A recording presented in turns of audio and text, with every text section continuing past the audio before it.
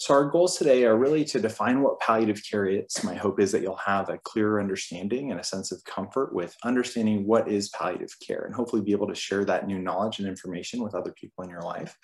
We'll be talking about what the focus of palliative care is, as well as defining the relationship between palliative care and hospice. And that's an area where often we find there's a lot of confusion and questions. My hope is that we'll be able to have a better understanding about how these two um, services exist really in a continuum of care. So we can think about um, when they're appropriate to engage with and how they can help us um, no matter what stage of life, what stage of a serious illness we may be faced with. So to start off with, let's consider this first question. What is palliative care? Well, the Center to Advance Palliative Care defines palliative care as specialized medical care for people living with a serious illness. It's focused on providing relief from the symptoms and stress of that illness. And the goal of palliative care is to improve quality of life for both the patient and the family. It's provided by a specially trained team of doctors, nurses, and other specialists. And in different settings, this may include social workers, it may include folks with, from spiritual care, um, different sorts of therapy like music therapy, um, again, depending on the setting, who work together with the patient's other doctors, their primary physician or other specialists they may be seeing for assistance with their illness, whether that's uh, heart disease or lung disease, a neurologic problem, or cancer. And that team really provides an extra layer of support. So when we think about who qualifies for palliative care, it's really based on the needs of the patient, not on a specific prognosis. Prognosis here meaning someone's life expectancy related to the illness that they're facing. So there's often this misconception that palliative care is just for people for whom time may be growing short, but it's really about what are their needs. And that's really driven by their illness and how that's showing up in their body and in their life, how it may be affecting their quality of life, their ability to do the things that make their life rich and meaningful. It's appropriate at any age and at any stage of a serious illness. So it's not just reserved for people with advanced age um, or just for people who may be further down the line with their illness. It can also be provided along with curative treatment. So people do not have to reach the point where they want their care to focus entirely on comfort-oriented care to benefit from palliative care. It can be provided alongside curative and life-prolonging treatments. Um, today, we're going to take a look at this model. I really like this. I think it exemplifies um, a couple really important ideas for us. I want to just get oriented to what we're looking at here. So what we're really um, focusing on with this figure is kind of what the trajectory of illness looks like from the time of diagnosis of a serious illness as time goes forward, whether that may be over months or years with that illness, um, toward the last chapter of life, death, and even that period of bereavement. So the timeline we're considering is, again, from that point of diagnosis of a serious illness on even past the point of death, understanding that the needs that someone has as they're faced with a serious illness include their own needs as that illness progresses, but also their needs as they approach death and the needs of their family, their loved ones who they may leave behind afterward. As we look at this figure, we can see that it's kind of partitioned in this first block between the white and purple, where over time as an illness progresses, more and more of the care that's received may be considered as palliative. That is, the focus of those treatments is not necessarily curative treatment or to prolong life, but really to focus on the alleviation of suffering, to address whatever kind of symptoms may come along as part of that illness. Whereas over time, our options or available treatments to prolong life or restore life may diminish as our body is no longer able to respond to those treatments or options to try to extend and prolong our life or restore us to our prior quality of life may lessen. We then see that there's this block marked hospice, which kind of takes up a smaller stretch of time leading into death. And we're going to talk more about the relationship between palliative care and hospice, what that timing looks like and what that transition can look like, as well as understanding, again, that there are needs for each of our patients' loved ones, even after their point of death. And so consideration for how we support people in that period of time is really important and understanding what supports in the medical system exist to offer that kind of support and care in that period of time. So here I want to shift our attention to talk more about what is hospice. And this is often uh, a really big question where again, we find there's often misconceptions or misunderstandings about the nature of hospice and what it is. And so I want to really just shine a light and focus on understanding that this is part of the continuum of care that was designed with a specific goal set in mind and a specific population of folks We'll talk more about how it fits into this continuum of care as people go forward in time with a serious illness. So hospice really is a system that was designed to deliver health care to the patient who has a life expectancy of six months or less and has decided that they want their care to focus on comfort and quality of life. Now I have an asterisk here um, with this question of prognosis, the six month life expectancy, and this is a really important asterisk very often folks have the idea that hospice is really just for people who are at the very, very end of life. And in fact, most people who enroll in hospice do so at the very end of life, often when they have a week of life or less. So the first thing we can notice is that hospice is actually designed to support people for a much longer period of time than most people get that support which in my opinion is a tragedy. As we'll see, this is a tremendous service that can do a lot to support people's quality of life, even in that last chapter of life. But the other thing that we have to say is that we're not great at predicting someone's life expectancy. There have been a lot of studies on this question. What we find is that physicians, for all of our knowledge and all of our experience, are not particularly great at predicting this with accuracy. The way that the hospice benefit was defined does not require that we're perfectly accurate. People can be enrolled on a hospice under the understanding that given our best understanding of their illness and how things may progress over time, that they're likely to have six months of life or less. However, if they reach that six month timeline enrolled on hospice, they're not automatically ejected from hospice if they're still doing well and going on living. We simply have to repeat that assessment. And if the assessment remains the same, that yes, we expect that death is likely within the next six months, then folks can be qualified to remain on hospice services. So again, that life expectancy is not such a hard and fast rule as it may seem. It's certainly also not something that's prescribed. The idea of hospice is certainly not to hasten death or shorten life. The focus is on promoting the highest quality of life for the period of time that's defined under the hospice benefit. Again, that other factor is really when folks have reached the point that they want their care to focus on their comfort and quality of life.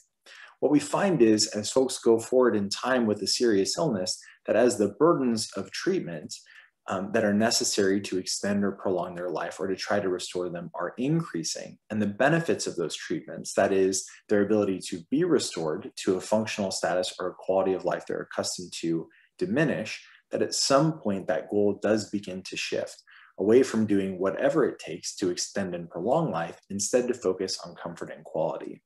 Where that point is for each individual is just that an individual question because it hinges on questions about how we define quality of life, how we define burden, and how we define benefit. Those are all unique and individual questions. They're not questions that can be answered by any physician or other medical professional because they really get to these specific questions of the individual. And yet, knowing where that point occurs is crucial for the medical team so that we can ensure that the care we're delivering is consistent with our patient's goals. And so when folks reach this point where time may be growing short, according to this asterisk um, of prognosis, and the goal has shifted to focus on comfort, that's really what hospice was designed for. Where can hospice care be delivered? Well, the location depends on a patient's needs at a given point in time. Hospice care can take place in patients' homes, in long-term care settings, as well as in specialized facilities called hospice houses. For someone to receive hospice services in their home, they have to still be independent or have adequate support for their 24-hour care needs. Hospice doesn't move in and set up around the clock care, so it really requires that someone's still pretty functional or has enough support to meet those hour by hour care needs safely. In the case that someone is not able to meet their hour by hour care needs on their own, then they're likely to be receiving care in a long-term care setting like a nursing home, where then hospice services can come as an extra layer of support around them. The hospice house we can think about as being the hospice's answer to the hospital. That is, It's the highest level of care where there's round the clock nursing support and daily visits from medical providers to assess uncontrolled symptoms. So folks that are receiving hospice services at home or in the nursing home, if they run into a symptom crisis that cannot be controlled in that setting, that's really what the hospice house is for, where they're able to do kind of the most advanced symptom management like IV medications and other treatments to try to get those symptoms back under control. If they are able to control those symptoms in a way that can be carried out back where that person came from, they'll often be returned to that setting if they are reached the very end of life and are having significant symptoms during their active dying process, they may remain in the hospice house to continue to have that excellent, high quality symptom support through that final chapter of life. The hospice team, like the palliative care team, is interdisciplinary in nature. It's made up of nurses working with social workers, spiritual care providers, and physicians, again, as well as other um, healthcare providers and supports depending on the specific hospice agency. And the idea is really that they bring the care to the patient. So the whole team is available to the person who's on hospice. But The primary contact is the hospice nurse, who's a specially trained nurse with special skills for assessing and managing symptoms um, who's usually visiting two to three times per week, but is also available 24 7 for crisis management. So the idea being that with frequent visits, they can stay ahead of a crisis, but that if one does come up in the middle of the night, on the weekend, at any time, someone's available who's familiar with the plan to help give guidance over the phone and will come and make a face to face assessment to try to get symptoms under control. The goal is to try to avoid hospitalizations, as typically at this point, folks are no longer desiring to go to the hospital. It takes a lot out of them without giving a lot back. Other considerations for hospice is that for folks who are in hospice at home, the hospice provides for any needed equipment. So if they need hospital beds, bedside commodes, oxygen, or anything else, that's all provided under the hospice benefit. Any medications are provided, so we no longer having to go to a variety of providers for our medications. And all those services, equipment, the medications are all paid for 100% under the hospice Medicare benefit. And that's really, I think, the biggest thing is understanding that the hospice benefit is really an insurance benefit. In my opinion, it's the best benefit that insurance provides for. As we can see, it's a holistic service that really looks at every aspect of care and ensures that care is able to come to you where you are. Again, it's reserved for people where time is growing shorter as defined by that six month prognosis and where the goal has shifted to focus on comfort care. So again, putting that into this context, we can see that when folks are faced with a serious illness, over time, things are likely to change as the options for life prolonging therapy or my ability to tolerate life prolonging therapy may be diminished. More of my care is going to focus on symptom management and quality of life. At some point, we'll reach this inflection where time is growing short and my goal will shift to focus entirely on my comfort and quality of life. And that's really where hospice shines, not only for ensuring that I have the best quality of life for each day that I have, but also providing bereavement services for my family after my death what we'll often see is folks think about um, the role of palliative care as being kind of late in this trajectory often folks are thinking about teams like ours, a hospital based palliative care team that will be involved in someone's care during a hospitalization, often as they're really approaching end of life or that transition to more comfort focused care. And to be sure, there are a lot of needs that can be met at that point in time. There may be family meetings to be held to help make sure that everyone that's involved in care and decision making is on the same page and understanding what's going on we may be of, great help in identifying what the goals of care are. Are we nearing that point where the goal is shifting more to focus on comfort and quality of life, or are we even past that point? Have we had an opportunity to complete advanced directives, ensuring that if I'm not able to make decisions for myself, I've clearly stated who will make decisions on my behalf in my stead? Or have I documented what my wishes might be for varieties of different care and treatment if I may reach a point that I'm not able to get better or recover?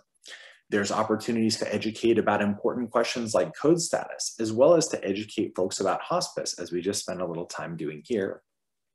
There's also a high likelihood that there's a lot of symptoms that might need specialty management for, things like nausea and vomiting, um, abdominal fluid that can build up in different illnesses, pain or delirium management, there may be opportunities to help with referrals to other outside resources um, that can help improve quality of life going forward, as well as help with discharge planning to make sure we have the right supports in place and psychosocial support, as often when we're faced with the later stages of a serious illness, there may be emotional, existential um, types of questions that arise that we can really benefit from additional support for. As well, when for folks making that transition to hospice, again, there may be other questions that need to be supported, like do we need other equipment in the home for folks that are in the home? Other teaching for cares if we're taking on more of that care, um, medications in those transitions, nursing support, bath aids, and so on, as we were discussing under that hospice benefit. And finally, support for our family in that period of bereavement after death has occurred. But I want us to think a little bit more broadly about this picture, this narrow focus on waiting for to engage with palliative care later in our course, I think creates a situation where we miss the opportunity to receive a lot of additional benefit. So I want us to dig a little bit deeper into palliative care. Another way we could define palliative care is as comprehensive interdisciplinary care, which is focused on quality of life for patients and their families facing serious illness. Now, if we break this apart, that first idea is that this care is comprehensive. It's inclusive of all aspects of care. Again, if we think about what this looks like in the hospital setting, when we're reviewing someone's case to get involved in their care, we're looking at the entirety of their record. We're making contact with all of their providers. Folks who are very ill in the hospital with a serious illness may be receiving support from a multitude of teams. They may have specialists looking at their lungs, another group of specialists looking at their heart, yet another looking at their kidney function, and another looking at infectious processes that are happening in their body. What we're trying to do is bring all of that content together to have a holistic view, not just to what's going on with each organ system, but how they all interplay with each other and what that means for my ultimate ability to recover and achieve that goal of getting back to the way I was before. It's interdisciplinary in nature. Again, we're, we have a multitude of professionals, each highly trained and skilled, focusing on different aspects of care, understanding that decision making is not strictly just about medical information, although that's certainly crucial, but also looking at what are the other elements of my care, my psychosocial environment, my support network, my spiritual and existential well being, um, and, and the other pieces that may need to be arranged for me going forward, especially looking at coming out of the hospital or returning back to the outpatient setting. Um, the focus is on quality of life. And this is really, I think, the critical element that what we're centered on are the individual values and needs of each patient. How we define quality of life is absolutely an individual question. And so, really, everything that we're doing is trying to tune into what are the needs of the individual in front of us do they have a good understanding of what's going on or could they benefit from more education to really have a clearer grasp of what their situation is and what they're likely to experience going forward? So that they then have an opportunity to consider how that might be affecting their goals so that we can then advocate for the plan that suits their needs the best. But all of that centers on the needs of the individual person that's in front of us that focus doesn't just stop with our patients, though, but also extends to their families, taking into account the patient's support network as central to the well being of that individual. And here I mean families in the broadest sense possible. We know that people think about family differently. Sometimes that's spouses and other blood relatives, but family may also engender our longtime partners, close friends, other people that are in our network, our pets.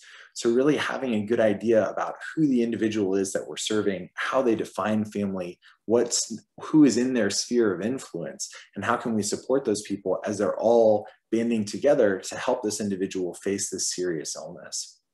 And that's that last piece, facing a serious illness, understanding that these services exist and can be involved at any time from diagnosis onward that includes decision making and care at end of life, but it's not exclusive to it. Really, any time from that point of diagnosis on. So that sounds nice, but what do we actually do? Well, you could think about this work as being centered primarily in two domains. The first is expert symptom management, understanding that when folks have a serious illness, that can come along with a lot of different struggles, common ones including pain, tiredness or fatigue, drowsiness or issues with sleep, nausea, loss of appetite, shortness of breath, depression or other mood issues, anxiety, and delirium or confusion that can set in in the context of illness. The other part of that work is really around communication and coordination of care. As we've mentioned earlier, understanding the nature of my situation is critical to being able to frame what my goals are. If I understand myself to be well and not to have any significant issues, my goals are going to be pretty straightforward. Let's do whatever it takes to get me back the way I'm used to being and help me keep on going longer. If I understand that I may have an illness that's going to limit the length of my life or my ability to resume my prior level of function, my goals may begin to change. The other factor here being that once my goals are understood, making sure that that's well communicated to the rest of my care team so that they can coordinate my care effectively. So, what does that mean? Often it starts with translating the medical record, making sure that folks understand really what's going on with their health care and their health issues. Identifying and addressing any questions that may remain or any gaps in their knowledge base.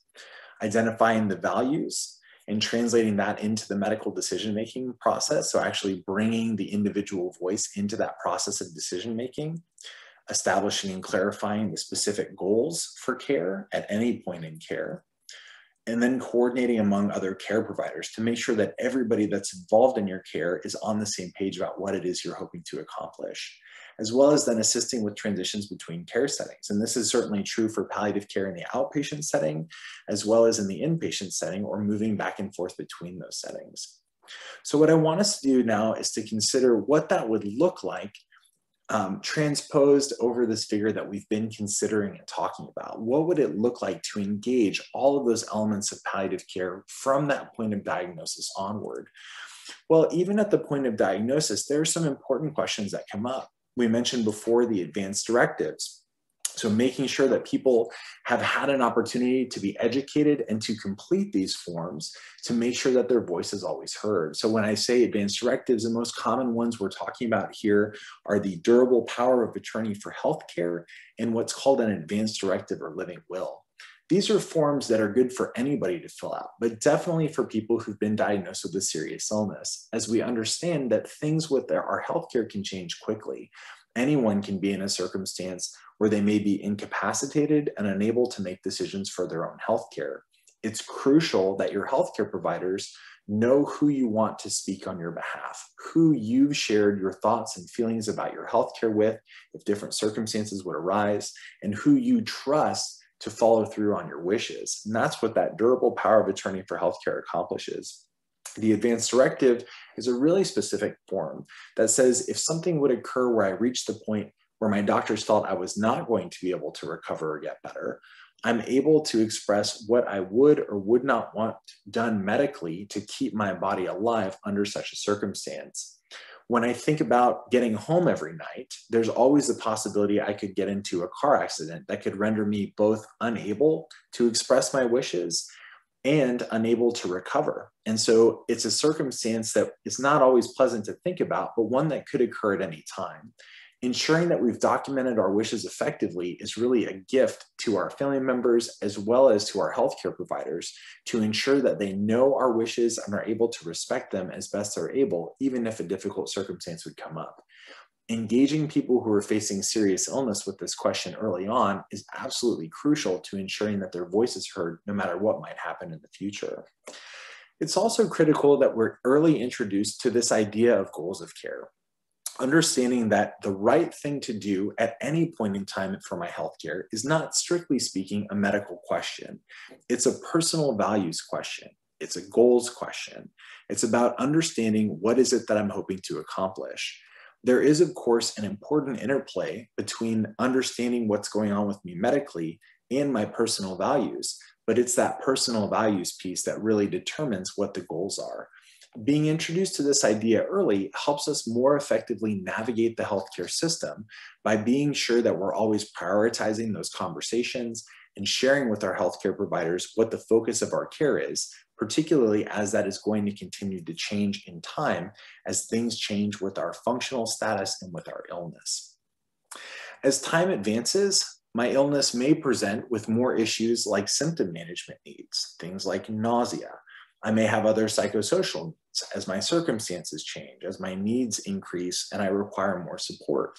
There may be other referrals to additional specialists that I might benefit from seeing to help improve my functional level or my quality of life.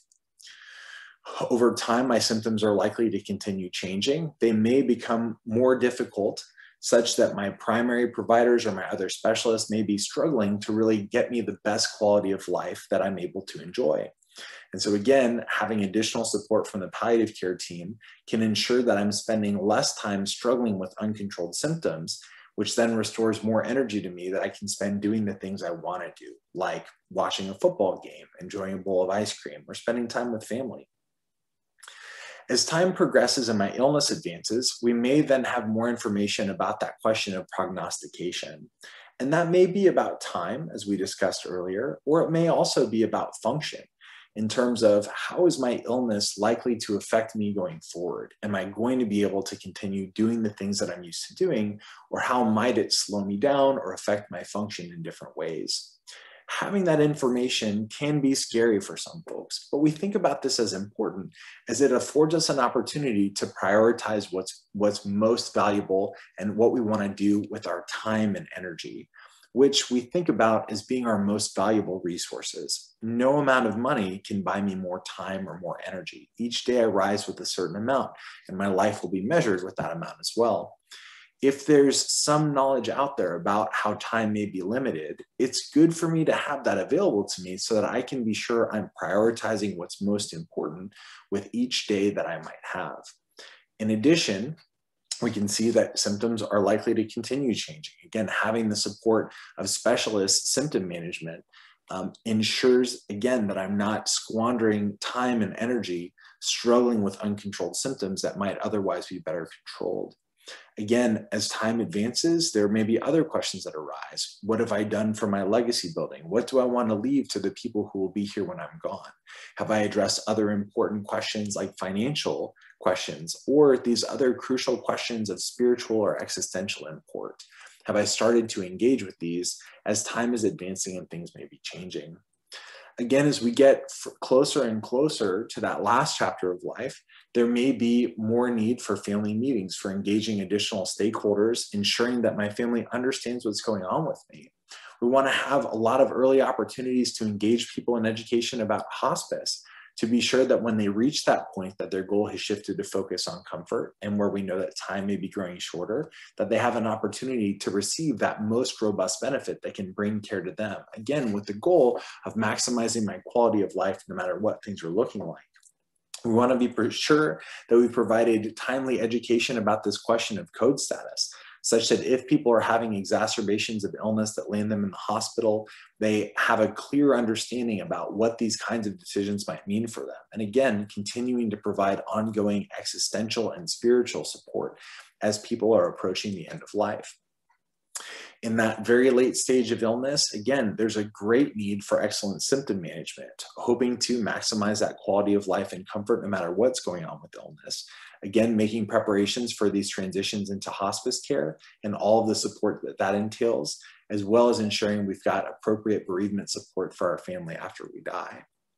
And so, what we can see here is that palliative care has an enormous opportunity to both support us throughout this journey of serious illness, whatever that might look like, to help maximize our quality of life and support our decision making to ensure that our voices are heard no matter what's going on with our illness.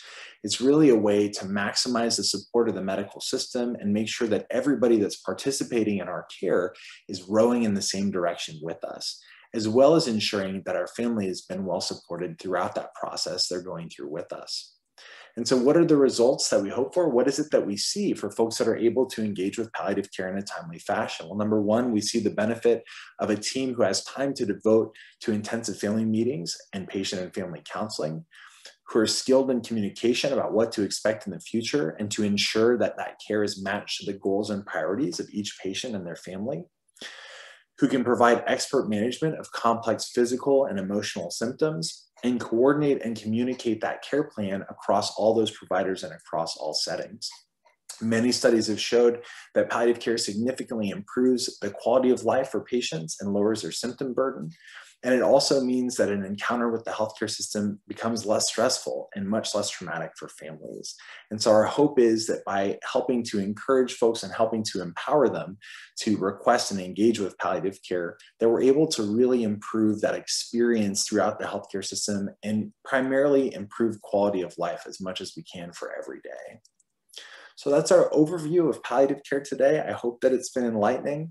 If you're interested in more information, there are wonderful resources from the Center to Advance Palliative Care. This website is a fantastic one. It's just getpalliativecare.org. It's got a ton of resources for patients and families facing serious illness, both to explore what kinds of palliative care supports are available to you in your area.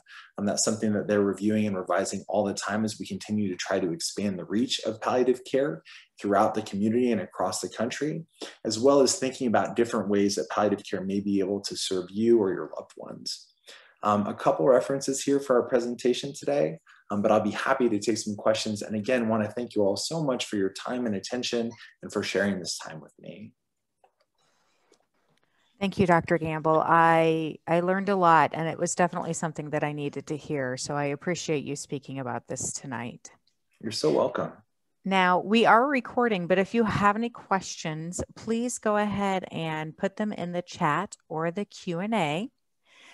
I did just mention that we are recording. We will be putting this on YouTube for you to share with others or watch again. So let's see. You know, Dr. Gamble, I think that um, helped me most in figuring out that you don't, there's definitely a care team out there that you can get well before your six month time limit. Yeah, absolutely. You know, I can, I often um, will share with patients and families and my own personal experience that both of my grandmothers were enrolled in hospice for nearly two years. Mm-hmm. So, really understanding that the way that that benefit is defined is kind of with this prognostic understanding, but knowing that that's not a perfect process, mm-hmm. that there's flexibility in that system. The goal here is really to try to meet the needs of our patients. Um, and so, having a, a really overly rigid system certainly doesn't suit that need. Um, but really, I think that the crucial piece is understanding that there's this kind of broad category that's there, but that often it's available for a lot longer than many people think. And so, really, the hope is that by helping with that education, people are able to be empowered to engage these parts of the system earlier and more effectively to support them no matter what time may look like or what their journey with their illness may look like. Agreed. So don't put it off until the last minute, right? There's support there before that. Absolutely, absolutely. In fact, there have been some studies that show that in certain cases, people that engage with hospice earlier um, seem to live longer and certainly have significantly better qualities of life for the time that they have. And that's really, I think, the thing that we want to see more people able to take advantage of, to have the best supports of the system coming to them and supporting them no matter what time you look like. Agreed. Agreed. Okay, well, Dr. Gamble, again, I appreciate your time tonight. Thank you so much. If um, if you guys have any questions, please feel free to reach out, and I will try to get them answered for you. So I will bid you guys good night. Thank you, Dr. Gamble. You bet. Thank you so much. Bye.